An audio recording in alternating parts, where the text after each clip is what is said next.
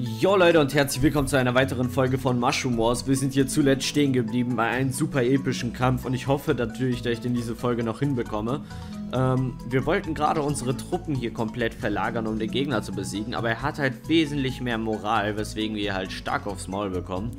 Ähm, wir müssen diese Moral abwarten oder wir warten, bis wir uns irgendwie verteidigen können. Okay, er wird hier unten angreifen, oder? Sehr, sehr sicher, sehr schön schön reagiert und frühzeitig. Das heißt, wir bauen seine Moral ab und bauen unsere Moral auf. Das ist sehr gut.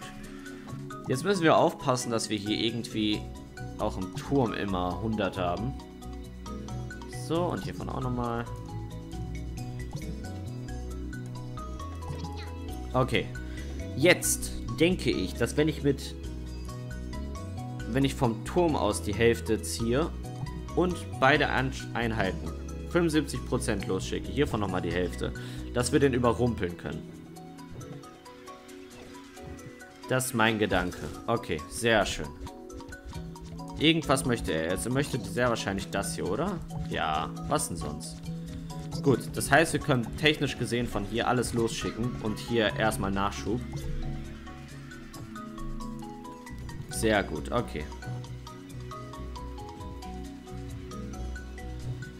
Jetzt hat er wieder sehr viel Moral, weil er sehr viel verteidigt hat. Gut, das ist nicht weiter schlimm. Das ist echt nicht weiter schlimm. Weil wir können jetzt einfach wieder verteidigen von diesem Punkt aus. Wir müssen da nur genug reinstecken. Dass wir da auch genug verteidigen können. So. Da hat er sehr, sehr viel. Das heißt, ich werde anfangen, damit das untere einzunehmen. Okay, jetzt weiß ich nicht genau, wohin er möchte. Okay, er möchte tatsächlich echt hier hin. Gut, das soll ich schon hinbekommen. Sehr schön, okay. Jetzt habe ich eine höhere Moral. Mit der höheren Moral könnte ich jetzt tatsächlich auf dieses und dieses Haus zielen. Und hiervon die Hälfte natürlich wieder instant zurück.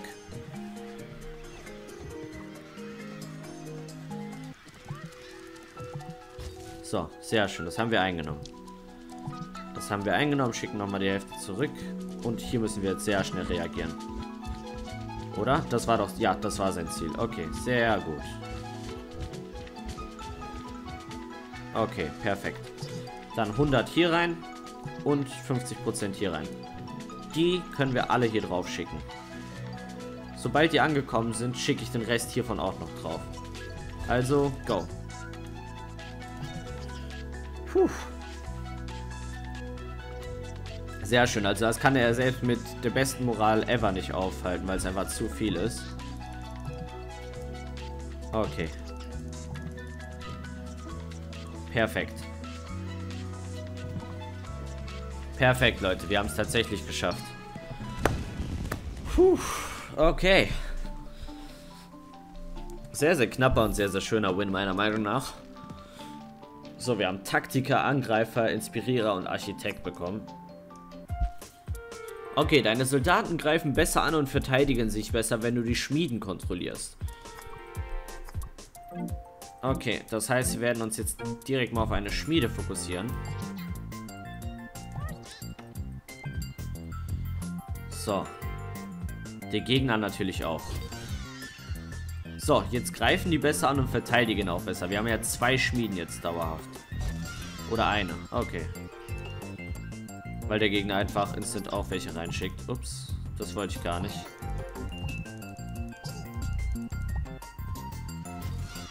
So, Dankeschön. Oh, der hilft mir sogar.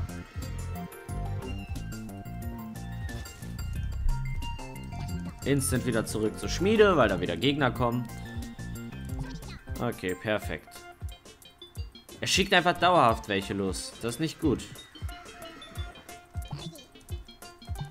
Hey, wie viel will der noch schicken?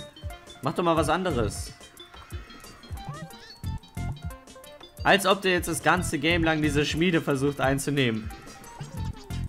Schickt die ja echt von überall rein. So, zum Glück verteidige meine sich gerade die ganze Zeit und deffen das. So, es gibt mir natürlich Free Moral. So, was ich eigentlich machen möchte, ist das Haus hier upgraden, aber die lassen mich ja nicht. Okay, Haus upgraden, let's go. So, in die Schmiede kann noch was rein. Okay, das heißt, wir werden jetzt wieder die Schmiede verteidigen. Okay, doch nicht. Hier vorne hereingehen. Weil der Gegner natürlich dumm wie Brot ist.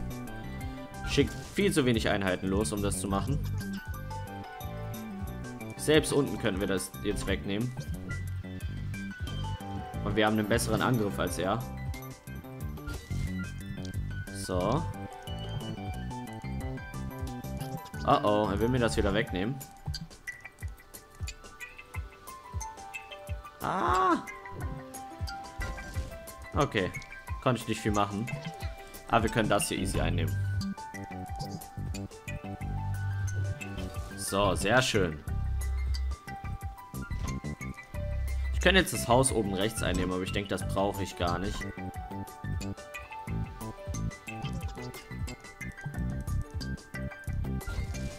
Sehr schön. oh Mann, warum habe ich das abgegradet, ich Idiot? Ich lache erstmal, dabei habe ich erstmal den größten Fehler ever gemacht. So, von da aus einfach dahin erstmal. Rein da, rein da. So. Ja, ist eigentlich gebongt. Also kann jetzt nicht mehr viel machen. Also ich finde Schmieden eigentlich ziemlich okay, aber sind teilweise auch echt schwach, wenn man so denkt. Man könnte stattdessen Produktion und sowas haben. Hängt halt ab welchen Spießteam man hat. So. Okay, alle mit Stern markierte Gebäude erobern. Das ist natürlich sehr, sehr machbar. Ups, das war ein bisschen zu wenig. Hier gehören auch noch ein paar rein. So.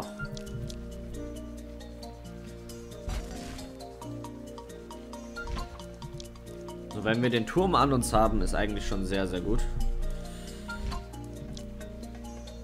Wir graden aber erstmal ab, das ist sehr, sehr wichtig hier, denke ich. So, da oben hat er sehr, sehr viel, aber das ist egal, wie viel er hat. Wenn wir verteidigen, ist es echt egal. Nein. Der hat nicht angetäuscht, oder?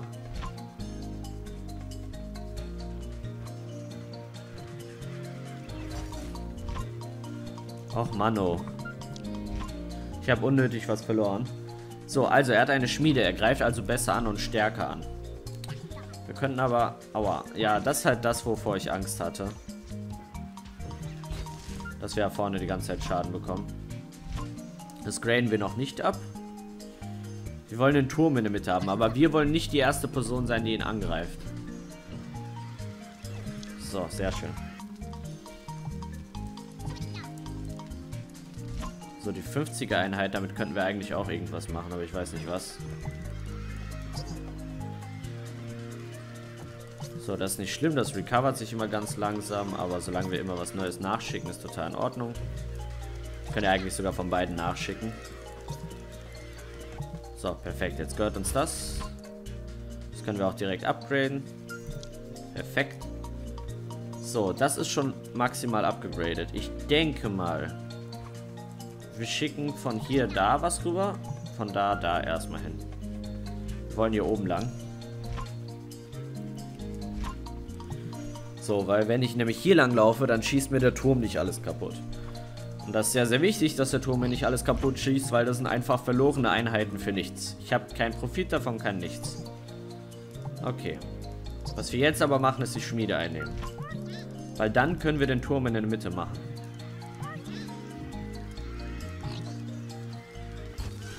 Sehr schön.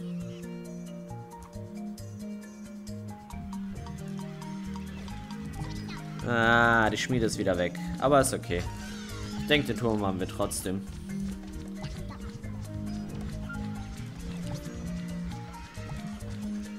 Oder auch nicht. Oder auch nicht, Leute. Das ist nicht so gut. Weil er wird sich jetzt den Turm unter den Nagel reißen. Er geht ja jetzt einfach for free hin und gönnt sich den Turm. Das ist nicht so gut. Das dürfte auch auf keinen Fall passieren. Und jetzt mache ich Mist und ich sterbe jetzt. Okay, never mind. Ich habe den Turm. Hab dafür zwar alles verloren, was ich hatte, aber ich habe den Turm. Mit dem Turm kann ich eigentlich was anfangen. Das ist sehr gut. Okay. What? Wie schnell er denn wieder zurückbekommen hat. Mann, oh. Ach, die Runde ist, glaube ich, verloren. Ja, wir machen einfach eine neue auf. Das war Mist gebaut, tut mir leid. Also, nochmal dasselbe. Von hier welche losschicken, von hier welche losschicken. Das Ziel, was wir brauchen, ist die Schmiede. Mit der Schmiede hätte ich das bekommen, aber er hat halt zu schnell die Schmiede wieder zurückbekommen. Also, so. Von da aus einfach volle Ladung, auch wenn wir da aufs Maul bekommen. Okay. Das ist jetzt nicht so cool.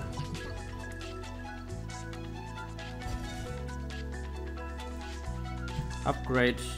Upgrade. Also, wird er jetzt ganz viel nachschicken. Warten auf Upgrade, genau. Hier können wir auch was reinschicken. So. Mein Ziel wird es jetzt sein, von hier aus wieder das Teil anzugreifen, wie vorher auch. Ich denke sogar von hier könnten wir erstmal rausmoven, weil er wird eh nicht über den Turm laufen. So, dann werden wir von die hier, äh, von da die ganzen Einheiten wieder wegschicken. Und von da aus einfach da rein. Das ist mir dann auch egal, ob ich die erste Portion hier an den Turm verliere.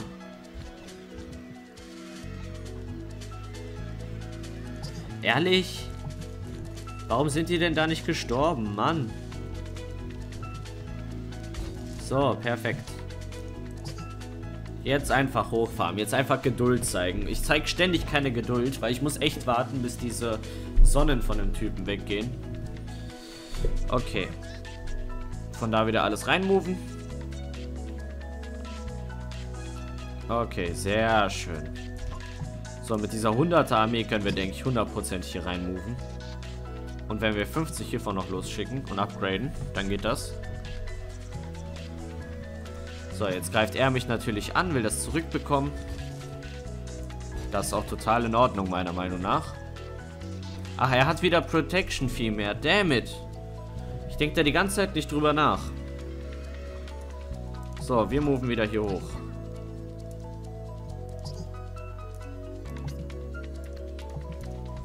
Solange der diese Protection hat, bin ich echt am Arsch. Also ich meine, diese zwei Sonnen, die protecten so scheiße viel Damage. Okay, das ist sehr gut. Jetzt müssen wir hier welche nachschicken. Ich denke, wir nehmen den Turm als letztes sogar ein. Es war vorhin echt ein Fehler, den Turm zu früh angreifen zu wollen. Mein Ziel war es ja eigentlich auch, dass der Gegner den Turm zuerst angreift, aber ich habe einfach nicht die Geduld gezeigt. So, wir wollen das Teil haben. Also, ab zur Schmiede.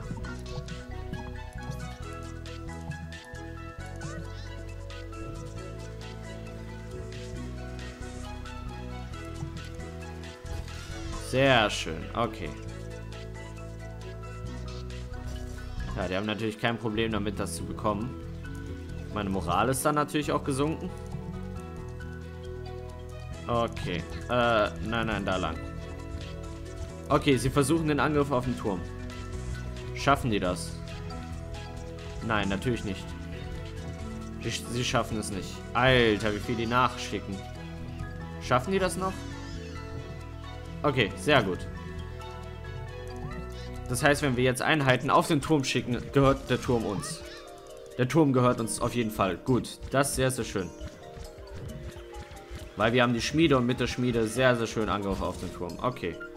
Perfekt. Das war ein sehr, sehr gutes Play. Vom Turm aus können wir, denke ich mal, die ganzen Einheiten da drauf moven, ohne großartig Konflikte zu bekommen. So, ich denke auch, den Turm könnten wir auch leeren, wenn wir hier welche nachschicken.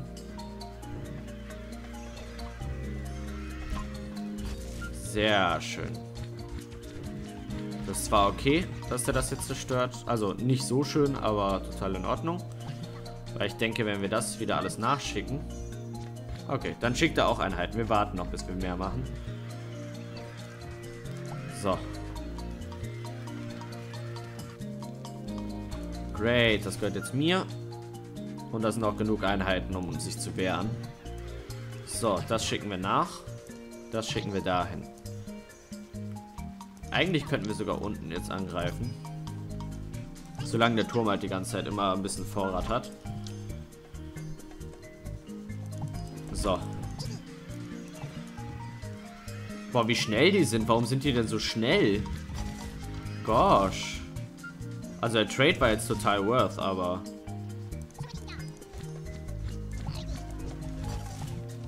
So, die Schmiede wollte er haben. Das ist in Ordnung. Damit habe ich gar kein Problem.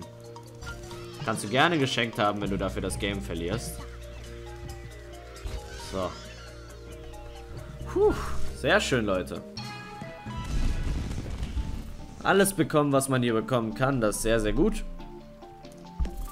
Okay, halt einen zweiten Versuch gebraucht, aber manchmal mit ein bisschen Anlauf klappt es dann. Okay, jetzt haben wir eigentlich eine sehr schöne Map, meiner Meinung nach. So, wir haben ja die Schmiede, deswegen können wir diese 15er Häuser recht schnell plätten. Und das ist auch das Ziel dieses Levels, glaube ich, dass man von hier aus eigentlich so ziemlich alles so schnell wie möglich einnehmen sollte. Weil man halt einfach free Ressourcen überall bekommt. So. Wir werden jetzt auch direkt den Gegner angreifen.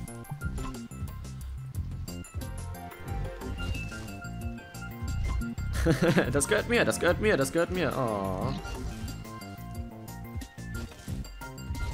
Okay, finally. Gut. Der nimmt das wieder zurück ein, das ist nicht schlimm. Wir haben hier oben ein großes Haus. Und müssen die alle jetzt ein bisschen upgraden. Wenn es möglich ist. Gut, wen wird er angreifen? Sehr wahrscheinlich dieses Haus. Sehr schön. Okay, das ist jetzt komplett abgegradet. Das heißt, von hier aus kann ich eigentlich weiter. Das hier kann ich upgraden, das hier kann ich upgraden. Die müssten eigentlich da rein moven. So, sehr schön. Ah, das war ein Fehler. Boah, wie der das jetzt angreifen will. Holy shit. Never ever lasse ich das zu. Okay. Upgraden. Sehr wichtig. So, Nachschubtruppen. Hier muss auch was rein. So, Hälfte davon jetzt auch hier hin. Damit es verteilt ist. Sehr schön. Gutes Timing. Nein! Bitte nicht einnehmen. Oh mein Gott, sie haben es nicht geschafft. Sehr gut. So, die müssen jetzt hier rein.